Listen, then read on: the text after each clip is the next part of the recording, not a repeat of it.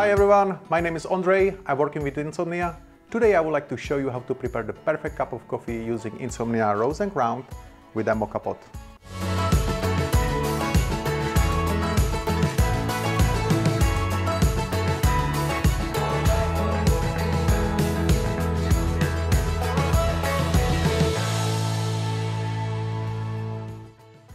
First, fill the bottom of your pot with fresh hot water.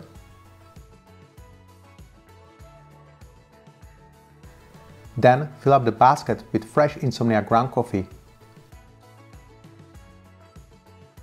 Level the surface but don't push down on it. Insert the full filter basket into the pot, screw the top and bottom parts together. Use a cloth as the bottom can be hot. Then immediately put your pot on the hob and brew over a medium heat for around 5 minutes. Once you hear bubbling and cracking noises, you remove it from the hob.